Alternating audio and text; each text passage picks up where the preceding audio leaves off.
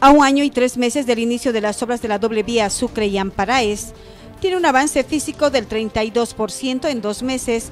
La empresa china Che concluirá con el vaciado del pavimento rígido en el tramo cruce Alcantarilla Amparaes informó el gerente regional de la Administradora Boliviana de Carreteras. Vamos avanzando uh, con pasos grandes en lo que es el avance de la doble vía Sucre y Amparaes.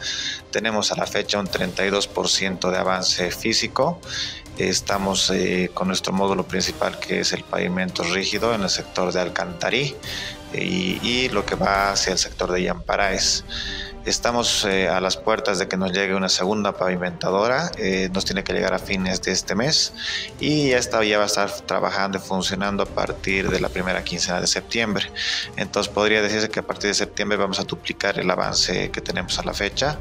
El, eh, nosotros a la fecha vaciamos pavimentos rígidos entre 200 a 300 metros lineales pasando un día y esperamos duplicar ese avance con la incorporación de la nueva pavimentadora y así tener un mejor avance para toda la doble vía para eso. Tenemos pavimentados casi 3 kilómetros ya en un ancho de 4.5 metros eh, de ancho, pero esperamos que con todos los avances que tenemos, la fecha de entrega es en febrero de 2025, esperamos entregarlo en diciembre de 2024. La doble vía abarca 25.82 kilómetros de cinta asfáltica y demandará un presupuesto total de más de 646 millones de bolivianos.